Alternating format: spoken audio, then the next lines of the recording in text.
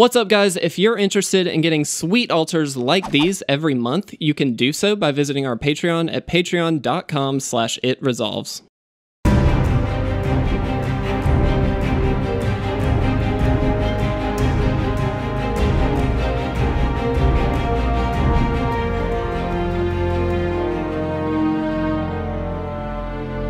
What's up, guys, and welcome to another episode of the Crack a Pack series. Today, I am super, super excited to be opening up a pack of Conflux. A pretty awesome set, in my opinion. A lot of multicolored themes, a lot of really, really cool stuff. So, we'll hopefully get to open a lot of awesome stuff in this pack.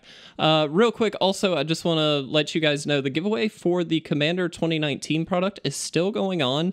Uh, you will win. Uh, whoever ends up winning will get their choice of any of the four decks that are being released this year. Uh, and the winner will be announced on the 26th. We'll do that through video as well as uh, on social media and stuff. So we've had a couple people asking. I just wanted to go ahead and, and make that point right now. Uh, also, really quick, thank you to everybody who has been uh, joining that giveaway. I think this is by far our our largest giveaway yet. Uh, we've had so so many people uh, enter this one. We really really appreciate it. We're in the multiples of hundreds at this point, which is insane to us. Uh, but thank you so much, guys. Seriously, we really really appreciate the support. A lot of you guys have been leaving really positive comments back, which we of course appreciate. So uh, without further ado, we will go ahead and open up this pack. Uh, we're going to do this as if it's a pack one, pick one scenario. So hopefully uh, we will be able to figure out what our pack one, pick one would actually be if we were drafting the set. I did not draft this uh, at the time or anything like that. I don't think I've ever drafted it. Uh, but hopefully I can give some at least educated opinion on this. So as such, we'll go through every card. Our first one here is Frontline Sage. Uh, it's a 0-1 for 2 and a blue. Doesn't sound great at first, but it does have Exalted. So whenever a creature you control attacks alone, that creature gets plus 1, plus 1 until the end of the turn. This is a pretty great mechanic. We see it uh, now a lot on things like Noble Hierarch, uh, which makes it just that much better as a mana dork, but uh, a really, really powerful ability for sure. Uh, and then with this, you can pay a blue, tap it, draw a card, and then discard a card. So this is actually an active looter. What I like about this is it's not damage focused. Uh, a lot of times we'll see, uh, not with Merfolk Looter, but with like Scroll Thief and stuff like that, you can uh, get a little bit of looting or drawing uh, off of dealing damage to an opponent, which is fine, but obviously that makes it pretty difficult if they're just outpowered, which they tend to be. So I like that this is an activated ability. I like that it has just a general buff for your team. Uh, if you've got a creature that's doing the most and swinging in and dealing damage, give it a little bit of an extra boost. I like it a lot for that. Uh, so I'm actually not. Uh, I, I don't hate this card. I don't think this is bad. I don't know if it's first pickable by any means, but I do like it so far. I think it's a decent start. Uh, Aven Squire uh, is a 1 1 for 1 and a white. It has flying and exalted as well. So, again, uh, buffs up a creature if it's swinging in alone. Uh, this is a perfectly fine 2 drop. Uh, I think it's a 1 1 flyer for 2. Not amazing, obviously, but it is a flyer, so it's evasive.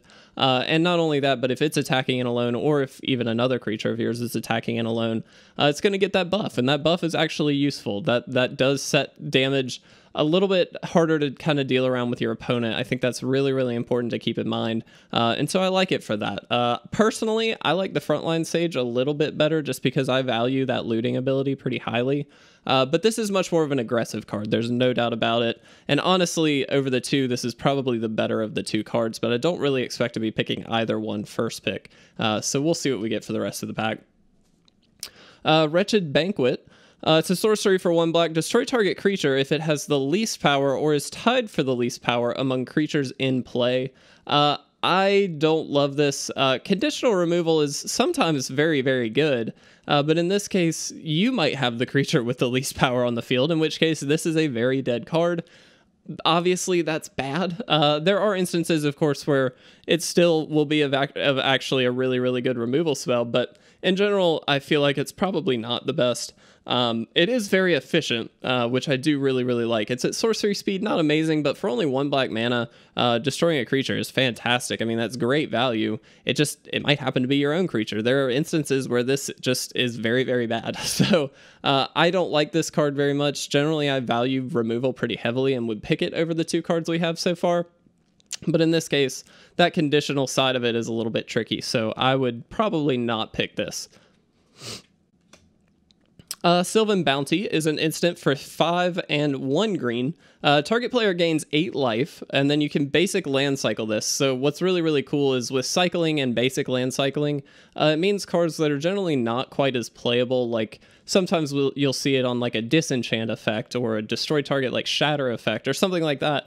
Uh, but you can also then cycle the card. That makes that card playable main deck. Uh, because even if the opponent doesn't have an enchantment, doesn't have an artifact, something like that, you can still cycle it away and still get some benefit out of it. And it's really, really good for that. Uh, it just lets you add in that tech main board so you're not you know, losing out game one to something kind of jank or something like that. So I like it for that reason. But in this case, eight life, not amazing.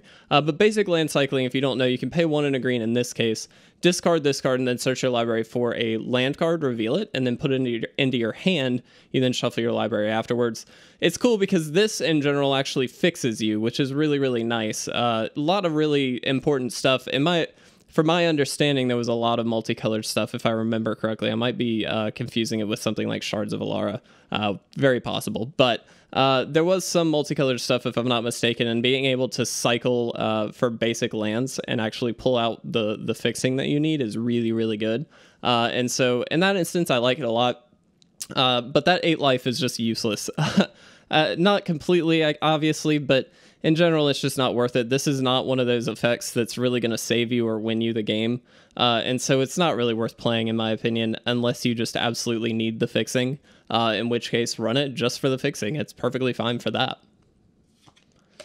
Uh, Canyon Minotaur is a 3 3 vanilla creature for 3 and a red, and this is a very not great card in this set, in my opinion. Uh, usually, in a general expansion like a core set, stuff like this is okay. Uh, it's not amazing, but it's a curve pick. You really, really consider your curve pretty heavily there, and you should always consider your curve, even in you know any set that you're drafting. Very, very important, of course. But uh, a three three for four is very underpowered uh, in your normal expansions at this point, and so it's really just not great there are, I'm sure, instances where it'll be fine, but it's not good. It's not going to win you the game by any means. Uh, and it just doesn't do anything as it impacts the board or anything like that. It's just a 3 3 for 4, which generally speaking means it's probably going to be a little outpowered uh, at the point in which you can play this. And so, not super exciting. Excuse me.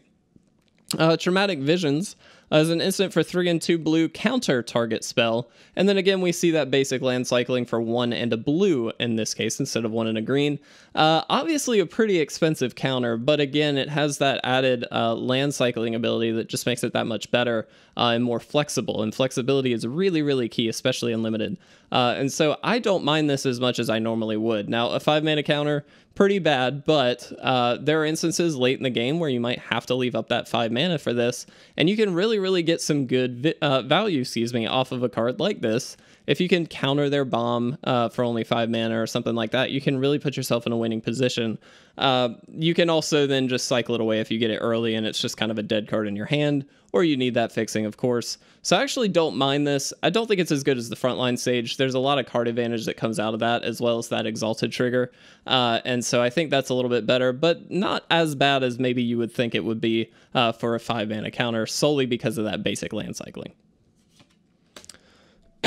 uh, Wandering Goblins.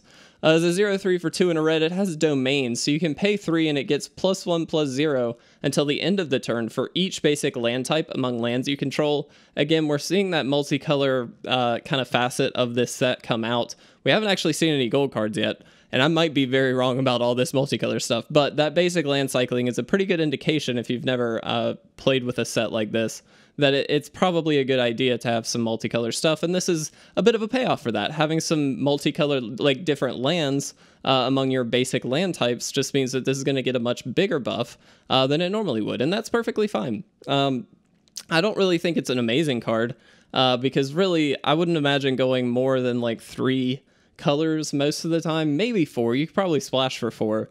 Uh, but a 4 3 max for three that you have to pay three to actually make a 4 3 seems kind of bad in my opinion. It just seems like a lot of investment for not a huge payoff.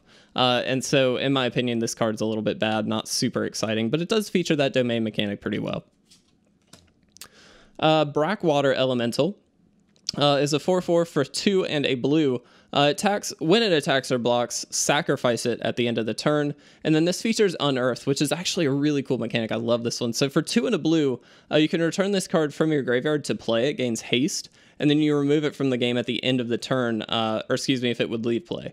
Uh, and so uh, either one of those, by the way, if it hits the end of the turn or it would be removed from play, it, it's or uh, removed from the field. Excuse me. I'm saying things incorrectly, but you get my point. It basically is like a reanimation spell tied to the creature itself. It's just only for one turn. This is a very aggressive blue card uh, in terms of being a three mana 4 4. Obviously, it's kind of like a, a ball lightning effect or something like that, where uh, it swings in once and then it just has to be sacrificed at the end of the turn. That doesn't feel amazing in blue, in my opinion. Uh, blue tends to be much more of a like longevity play. Uh, you you bury your opponent in card advantage, you get that incremental advantage over multiple turns, not just slam in for a bunch of damage. Uh, and four damage, honestly, is not a ton. I think if you draw this in the late game, it's probably just going to be outpowered, in which case it really doesn't do much. Uh, and so I'm not a huge fan of a card like this uh, in blue in particular. If I was in red, I think I'd be a little bit more open to it just because it's much more of an aggressive uh, color. And so something like this could actually solidify your your winning position, which would be great. But in blue, not super excited by this. I still like that frontline sage a little bit more. Uh, but again, we'll see what happens. Finally, a gold card. I don't feel as bad now. Uh, Suicidal Charge. Uh, it's an enchantment for three, a black and a red. Uh, you sacrifice Suicidal Charge, and creatures your opponents uh, control get minus one, minus one until the end of the turn, and then those creatures attack this turn if able. So you can kind of force your opponent into an, an attack that may not be very uh, advantageous for them. Uh, and then also kind of degrade their team a little bit with that minus one, minus one. I think it's a bit of a long play. Uh, I feel like this would be a much more better, a much better constructed card than a, uh, a limited card. I might be wrong in saying that, to be honest. I feel like it's really powerful to be able to make your opponent swing in, but you have to be reliant on the fact that you have creatures to block with, and that's where I'm a little bit hazy on this. Uh, cards that rely on other cards, generally speaking, are a little bit of a, a lower tier in my mind of a pick, just because you can't guarantee you you don't have the option of like a constructed deck where you're you you can reasonably assume that you'll have a certain creature out at a certain period of time or a certain card out at a certain period of time. In this case, you have much less control over that, and so you don't necessarily know what the board state's going to be like. And this might not be a very good time to use this card. Now, of course, it is an enchantment. You can use it at any point, which is nice. You can you can throw it out there. You don't have to use it right away but then your opponents know it's coming. It's a little bit it's it kind of loses the element of surprise, which I don't like either. So I think this is much more of a constructed card. I could be wrong on that, uh, and feel free if you drafted during this time, please let me know because I, I, would be very interested to know if this is a really powerful card and I'm just mis mis uh, misinterpreting it. But in my opinion, it, it's not great. Uh, Maniacal Rage is an enchant creature for one and a red. Uh, the enchanted creature gets plus two, plus two, and cannot block very very red uh, aggressive card uh, can be very very powerful as well if you get it in the early turns and you can really start swinging in for a lot of damage. Obviously the creature can't block so you might as well just keep swinging in with it. Uh, really really cool. It does open yourself up to the classic two for one with enchant creatures. I'm not a huge fan of that but uh, some people love to play that way and i don't think there's anything wrong with it. It's just you have to be willing to, to sacrifice two cards for maybe one removal spell uh, if you're interested in doing that. So it doesn't feel great to me. It's not a first pick, definitely, but if I was in a red aggressive deck, I'd consider it for sure. Uh, it's not a bad card. That buff can be really, really good in the early turns and really actually sure up the game pretty quickly if you get enough uh, swings in with it. So, very good in that regard. Uh, our first uncommon here is Filigree Fracture. Uh, it's an instant for two and a green. Destroy target artifact or enchantment. If that permanent was blue or black, you draw a card. Um, this is very much a sideboard card, obviously. Uh, any kind of artifact or enchantment hate tends to be uh, much more uh, re- regulated to the sideboard. Now, that's not always the case, depends on the, the set that you're in, but in this case, I would say definitely, definitely sideboard. What's nice is this is good regardless of the color of deck you're up against, but it has the added upside against blue or black, which I like. It's definitely nice to not have it target only blue or black permanents or something along those lines, uh, because then it's much more focused. It's much more obviously a sideboard card at that point, uh, but less less of an option against a lot of different decks. This is still good regardless of the deck you're up against. It just has some added upside, obviously, if you're against blue or black. Not a first pick by any means either, uh, but if you're in green and you need some artifact or enchantment hate uh, for your sideboard, this is a perfect card to pick up. Uh, Paragon of the of the Amesha, Amesha, Amesha, uh, Amesha. I'm gonna say it's Amesha. Uh, it's a two-two for two and a white. It has first strike, which is very very good. Uh, and then you can pay WUBRG one of each color, and until the end of the turn, it becomes an angel and gets plus three, plus three, and flying and lifelink. That is a lot uh, on one singular creature. Now, let's break this down a little bit. A 2 2 for three with first strike.